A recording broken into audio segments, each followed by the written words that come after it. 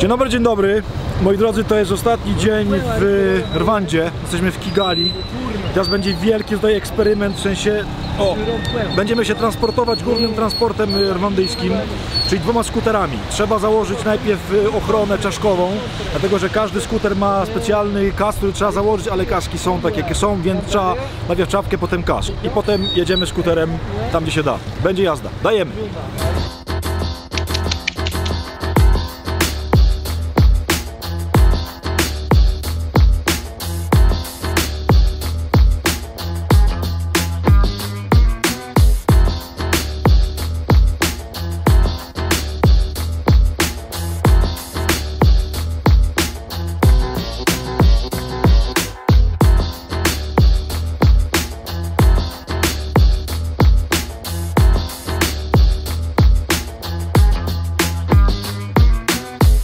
Więc słuchajcie, dojechaliśmy i żyjemy. Oni to oczywiście tak wszyscy jeżdżą, więc wszyscy żyją prawie.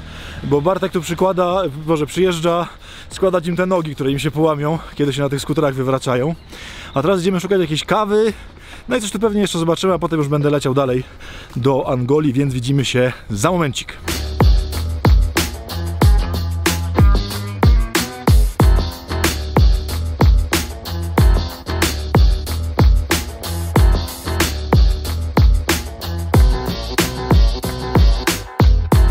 Moi drodzy, tak zwana y, pierwsza noga za mną, czyli jest godzina 8 rano.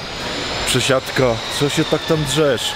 Przesiadka w y, Addis Abeba i lecę dalej do Luandy. Szczerze mówiąc mam dość, ale oczywiście jest super.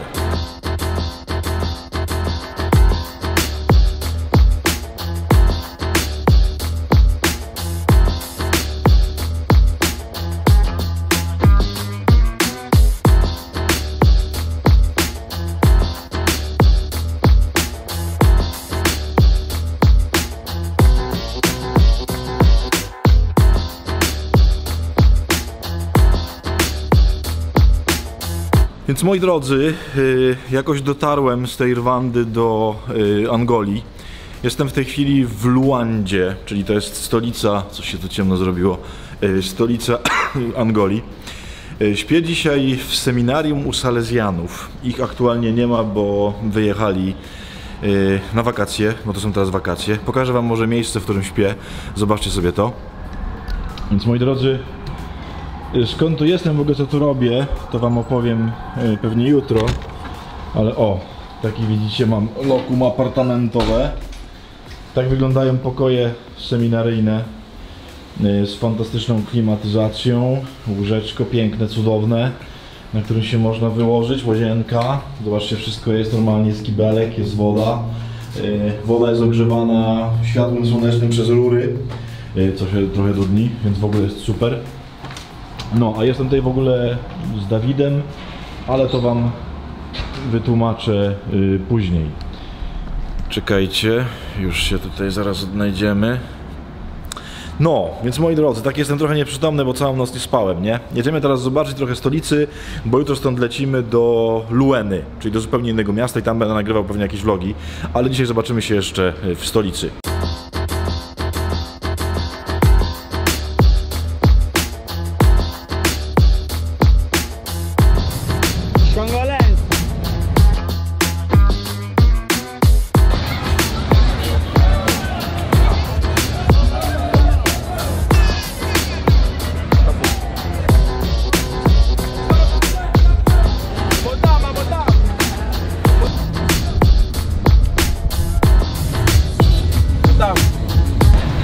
Moi drodzy, jak chyba zauważyliście już, jest spora różnica między Rwandą, gdzie jest spokojnie, czysto i w miarę porządek, a Angolą, gdzie jest Armagedon uliczno, śmieciowo, ludzko, fantastyczny, więc to będzie trochę inne doświadczenie y, Afryki.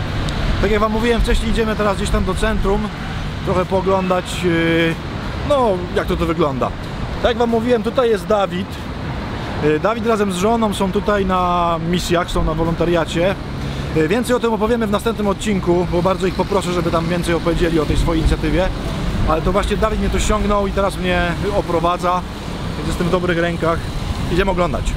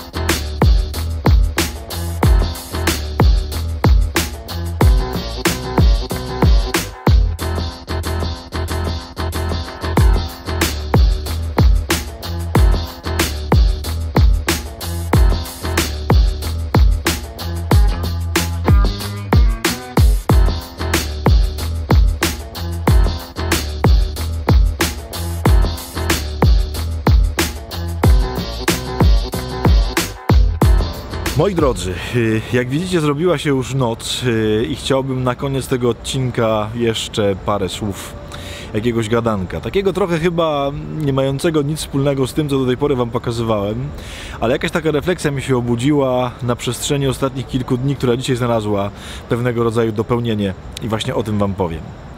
Kochani, tak jak to w wielu tych różnych moich podróżach, głoszeniach, rekolekcjach w różnych miejscach świata, spotykam bardzo wielu ludzi, którzy robią niezwykłe rzeczy, ale żeby mogli to robić, to wymagało to od nich zostawienia czegoś, co było ich życiem do tej pory.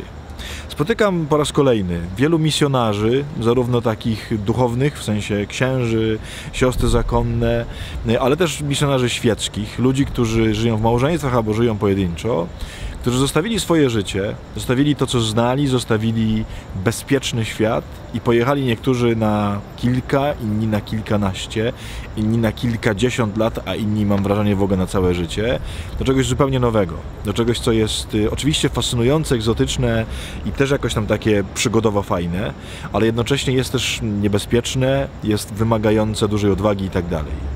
Y, tutaj w Angolii, muszę Wam się przyznać, czuję się zupełnie inaczej niż w Rwandzie. E, ten świat tutaj jest dużo bardziej chaotyczny. Tutaj jest taki, że tak powiem, bardziej naturalny afrykański świat, jeśli tak można powiedzieć.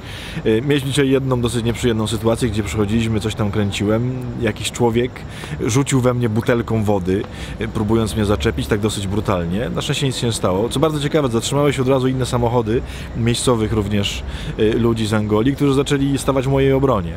No jest to świat, który wymaga, ja to jestem oczywiście tylko kilkanaście godzin w tej chwili, tak? Który wymaga odwagi, który wymaga wejścia w zupełnie nową rzeczywistość, kulturę, no w ogóle we wszystko.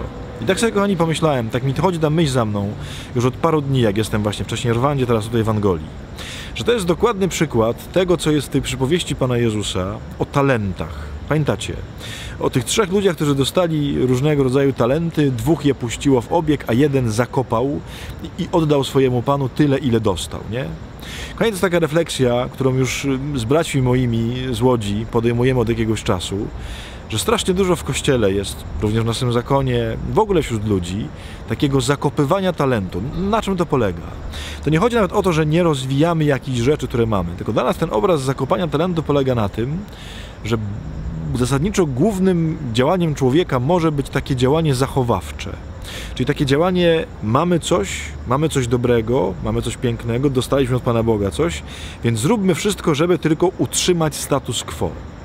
I kochani, mam wrażenie, że w kościele, że oczywiście też nie tylko w kościele, wśród ludzi jest bardzo dużo takiej tendencji. Czyli żeby tylko nie zaryzykować, żeby przypadkiem nie stracić.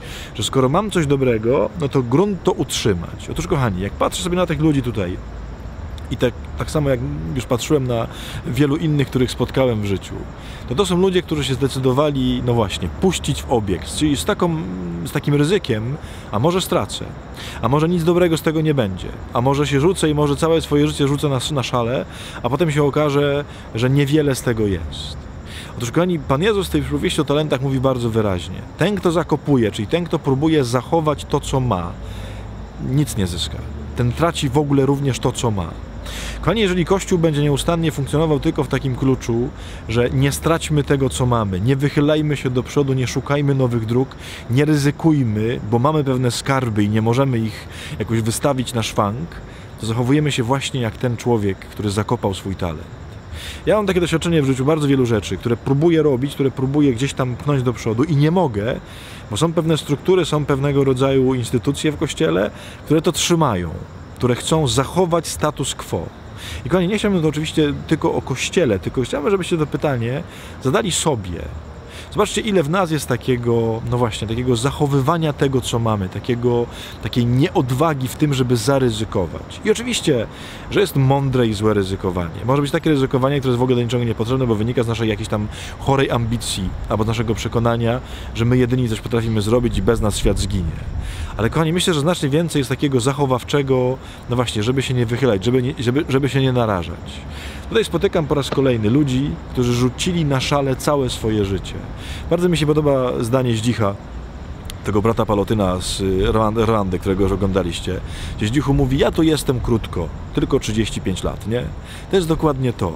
On zaryzykował całe swoje życie, no można powiedzieć pół swojego życia, bo ma dwa razy tyle prawie, e, ale zostawił wszystko po to, żeby pójść za pewnym głosem.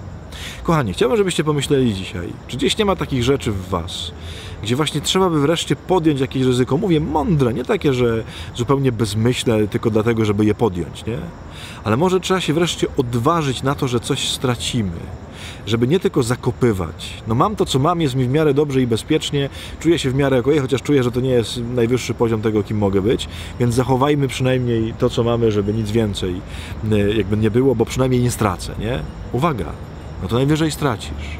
Pan pochwalił tych, którzy puścili w obieg. Mogli wszystko stracić, ale puścili w obieg.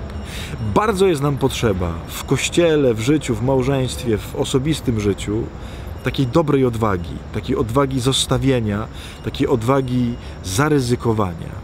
Kochani, chodzi mi po prostu po głowie bardzo mocno temat ryzyka, takiego dobrego ryzyka dla Pana Boga, ryzyka dla miłości, ryzyka dla robienia rzeczy niezwykłych. Może trzeba wreszcie, i ten odcinek jest dla niektórych z Was właśnie po to, żeby dotarło do Was jakieś wezwanie o, mówię, dobrym, mądrym i rozsądnym, ale jednak podjęciu jakiegoś ryzyka. Tak mi tu chodzi po głowie y, pierwszego dnia w tej Angolii. No właśnie, takie, takie wezwanie. Bo ja też czuję, że w moim życiu jest trochę takich rzeczy, gdzie już osiadłem, gdzie się czuję już bezpiecznie i dobrze i jest mi fajnie, bo mam różne rzeczy ogarnięte i nie chcę już wychodzić dalej, nie chcę ryzykować, bo tu mi dobrze. A to, to donikąd nie prowadzi. Pomyślcie, czy w waszym życiu też nie ma czegoś takiego. Moi drodzy, ja już idę spać, bo nie spałem chyba od 40 godzin przez te loty wszystkie, a jutro rano lecimy dalej, bo lecimy do Lueny. To jest miejscowość na drugim końcu Angolii, gdzie właśnie lecę do tych y, misjonarzy, do tych y, wolontariuszy, y, którzy mnie to zaprosili. W następnym vlogu Wam więcej opowiem. Więc kończymy i będziemy się żegnać.